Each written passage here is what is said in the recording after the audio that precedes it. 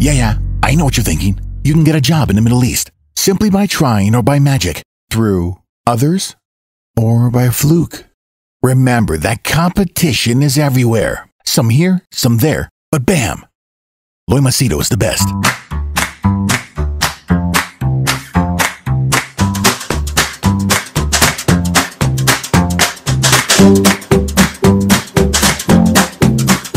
Okay, in this video, I just want to give you my thoughts about Indians and the way they behave. Now, before you jump the gun and say, hey, racist, hey, this and that, Indian passport holder here, okay? So, I'll give you the specific examples and you tell me if I'm right or wrong, okay? You tell me if I'm right or wrong. The first one. This is to speak about the bad names our Indians they give for the rest of India. Now, I understand there is one billion population and uh, we can't paint everyone with the same brush, different religions. But these behaviors that I'm talking, very common with our Indians. Number one, our Indian tourists.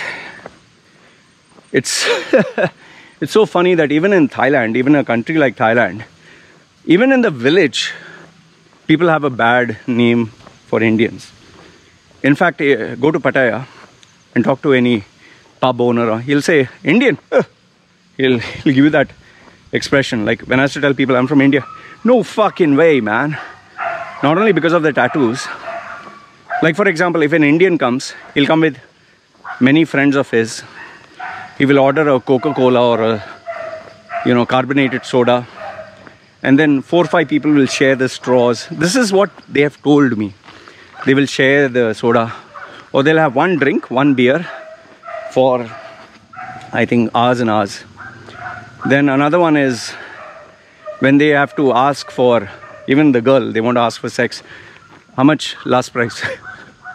Even sex they last last price. Okay final price how much? Okay me and my friend both how much last? Okay and there are even cases where after they have sex they have refused to pay. The next one is the body odor. Oh, goodness, I've heard, and I know this is a fact. Forget the Indian curry and forget the Indian DNA. Uh, it's basic grooming, man. Fucking hell. And you will realize this when you go. I have traveled Air India, and that's the last fucking time I traveled Air India. Oh, goodness, the stench. You go inside, and it's like you put your nose into someone's armpit the air hostess. Oh fucking hell i've never seen a fat ugly air hostess. And there she was auntie. She was a good lady. She was being very polite. But please man when i'm paying money for an aircraft i don't expect to see a, a bloody brontosaurus bloody buffalo. She oh, she was big man. Fuck you could see the tires protruding out of her stomach. And worst part Fuck, she was wearing that Indian dress, the blouse. You could see she was fucking sweating, man. I was like, are you fucking kidding me? But because she was namaste and she smiled, I was like, oh, okay, fine, whatever. When I went in, ooh, the smell, fuck. Everybody, I don't know what, everyone forgot to put deodorant or what. That smell was there. It was like a smelly fucking uh, like if I go running and I take out my underwear, you know, your ball sack, you know, it has that musky smell. Fuck, I was like, oh goodness. I was hoping that my nose would get numb. I just took a little alcohol and I put it on uh, this thing. Alcohol means not, uh, you know, like uh, sanitizer, this thing. I put some and I was just smelling. Okay. Then, uh, if that was not bad enough, man these indians they they don't have a concept of talk slowly or talk politely abe hey, hey sunna hey hey ramesh hey mahesh hey fucking hell they are shouting it's like it's a fucking BST bus. You know, BST bus is like one of the buses. Hey, sunna, hey, hey, oh, oh, bosri ke, oh, they, oh, fuck. And you're like, man, where the fuck have I, where the fuck have I come? They, they're shouting at each other in the aircraft. And then, if that was not bad enough, like they group together and they're Some of them are sitting on the seat, you know, the handrest.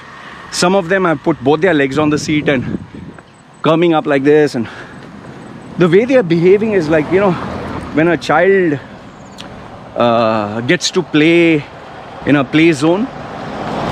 Okay, and talking, and the air hostess, that lady, please, please, ab betiye, ab betiye. Ah, okay, okay, and they're still talking, and then once it's down, the next one gets up. I'll tell you, that was the first time I chose not to go to the toilet. That is a because if they were smelling so bad here, I didn't want to even even imagine what the toilet would be like. I can assure you that it would smell of fucking onions and I didn't want to die, so I didn't go to the toilet. Fuck. Yeah, okay. And then, if you thought that was bad enough, this is another thing. Uh, when the aircraft is taking off, they still don't sit, they're still running around, jumping. Okay, fine. When the aircraft fucking stops, man, the aircraft has not even fucking taxied. Like, you know, it lands and it has to taxi. All these guys are fucking getting up. They're fucking standing up and opening the overhead and grabbing the. I'm like, oh, man, it's still moving. And the air hostess is, please sit down, please sit down. And then it parks, it taxis. And all these guys have stood up. And one guy is like this, and one guy like this. I'm sitting there, I'm like, man, are you fucking kidding me?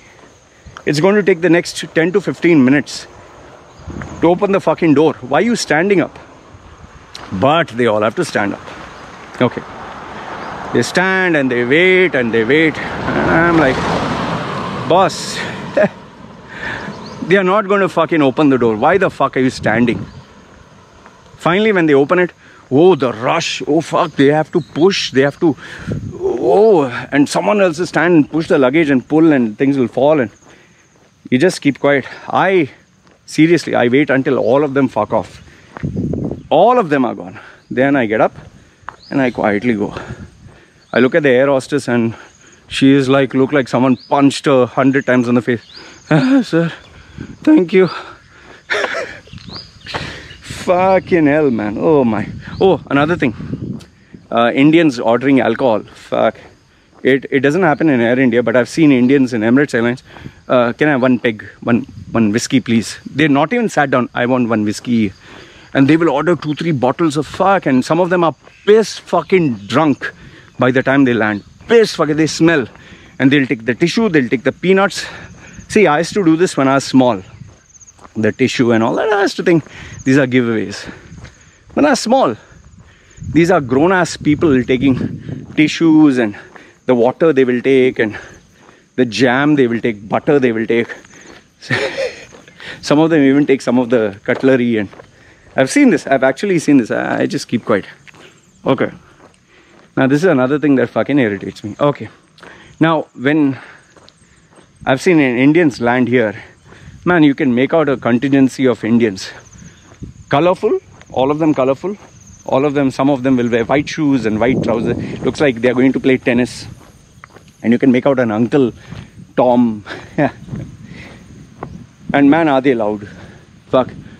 They will never talk slowly. Their jokes are ha ha ha ha. They will talk and laugh so loudly. Are yeah, this and that. And they will laugh and shout and they will be so noisy and and you know the the thing that really gets to me is now obviously because i stay here they i don't look like an indian so they don't know i'm indian but i understand hindi what i don't like is they'll speak in their dialect they'll speak sorry in their language and they will actually make fun. Arey dek, dek dek dek. Hey, hi, how are you? He is calling me a fucking chut, cunt, and then he is saying hi. Arey bosri ka chehra to dekho. Eh, you know this double standards, very common with our Indians. And when they go and order something, you're like I was in this coffee shop. They are so condescending. Hello, i want coffee coffee you don't do that man uh, you know the thai people obviously they talk in their language they, they're like they say this indian oh shit you know they for them they are disgusted and I remember this two, three females were there, they were Indians. and uh, they were putting their gold. I don't know why the fuck you have to show your gold. They were wearing the gold. So I could make out that they're Indians. I just told this girl, "Yeah, you know, it's not recommended. Uh, you know, don't mind me saying this, but I'm a resident here. It's not recommended for you to, you know, show your jewelry. Instead, instead of being thankful or, hmm, excuse me, she was like, hmm, and she, I was like, huh, okay. She thought I was trying to make a pass at her or something like that. And she was talking in her native and uh, native language and saying, "Who's this guy? Oh my God, he's a freak." And she thought uh, maybe I was one of those. Uh, can't blame her. Must be she saw tattoos for the first time. And then when you go to the hotels, oh, these Indians. oh. I, I have friends who work in hotels. They say the most problematic customers now one is Chinese, one is Indians. And our Indians, you know, there, there are these videos which have circulated online of them stealing uh, hotel stuff. It is so common. In fact, uh, the hotel, um, the people have been warned if it's an Indian, make sure before they check out, you check the towels, you check the, you know, ashtrays, you check all the decor, you check everything. They have taken literally, uh, like this girl, she works as, uh, you know, the the staff who welcomes the guest. She's been my friend for years now. She said they've stolen remotes, they've stolen salt, pepper, this thing, they've stolen ashtrays, they've stolen stuff from the bathroom. They, obviously, they take shampoos and soaps and all that. That is on. They've taken towels, big, fluffy towels. Like one of them was caught with. Oi. Woo! Now, this is what I call. Oh. See, lucky. You got to see it first. Coconut fell down. Uh, now do you understand why I'm so fucking afraid? Now this is a rare one. A coconut actually fell down. Need to tell my wife, Annie, Annie. See this one. Ah. so the first time coconut has fallen down and I escaped. Fuck, that was lucky. It is not bothered. Anyway. Hey, how was my reflex action? Like you know, Bruce. Wow. I always knew I, I would run away. Fuck, man, that was close. Coconut falling down. Okay, good. Survived. You know, the chances of dying with a coconut falling down is point zero zero zero zero zero zero zero, and it almost happened. Okay, back to my videos. Ah, I lived, live another day. James Pond, no, Ramesh Pond, hmm, whatever. Okay. Then, uh, like I was saying, uh, our Indians, the, this this this lady, she found that this guest had taken six towels, and uh, when they checked, uh, opened his luggage. Obviously, they didn't file a police case, but uh, you know he. And then after getting caught, these shameless Indians are still with their ego. Oh, okay, okay. wha- How much money? I'll I'll give you the money. Man, you have just done something wrong. Admit it that you are at fault. Fuck, they don't have a sense of humility. Still their ego. And uh, you know, if you piss off people, especially when you're wrong, they'll not fucking leave you. And then there are uh, these Indians at a buffet, this thing, they will, they actually, I didn't know this, but they actually take food and they put it in their purse. Like, you know, croissant and all that, they're looking left and right and they put it in their purse. Apple, okay, fruits I can understand. Croissant and chicken pieces and and then they'll pay for one and they will share it with somebody else. I mean, why you guys doing this, man? And then they are so loud. You know, one of the hotels, it seems, told the Indian guests how to behave. And people are saying, oh, it's racist. No, it's not racist.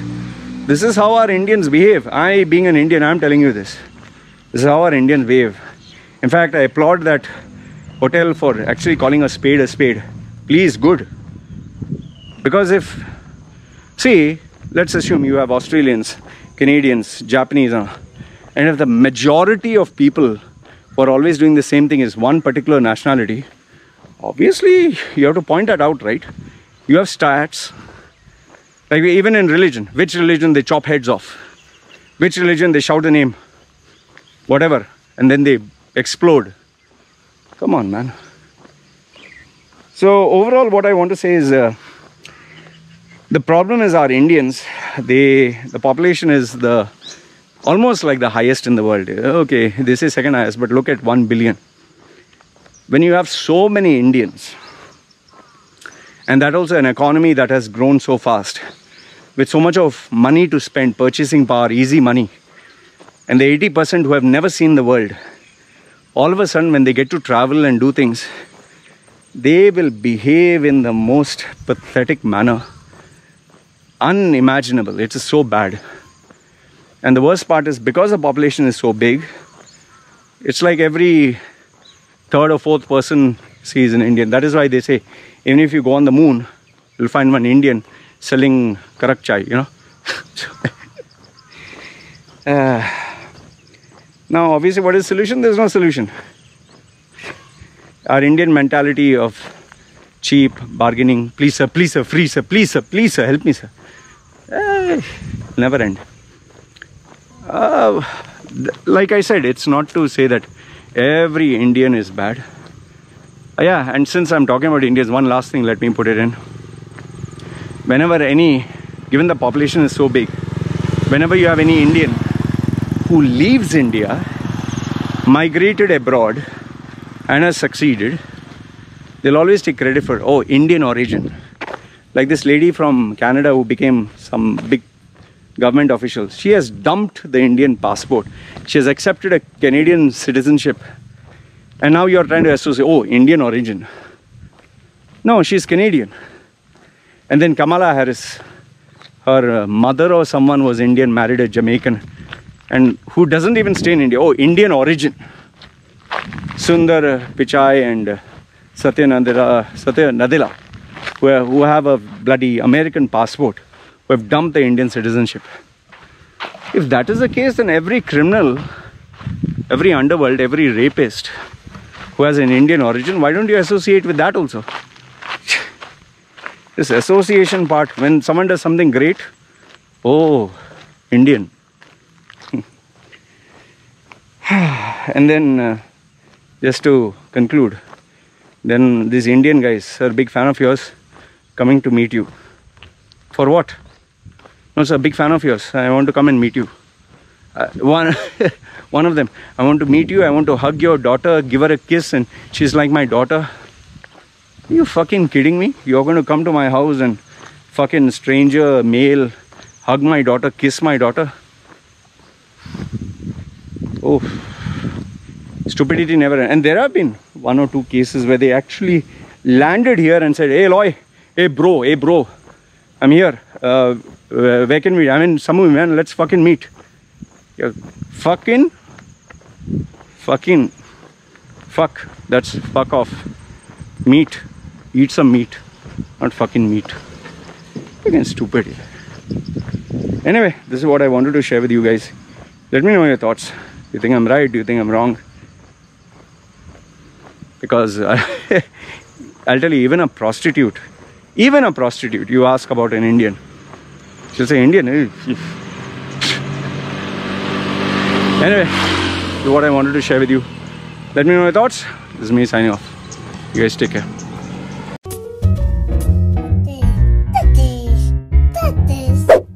Yeah, yeah, I know what you're thinking. You can get a job in the Middle East simply by trying or by magic, through others, or by a fluke. Remember that competition is everywhere. Some here, some there, but bam! Loy Machedo is the best.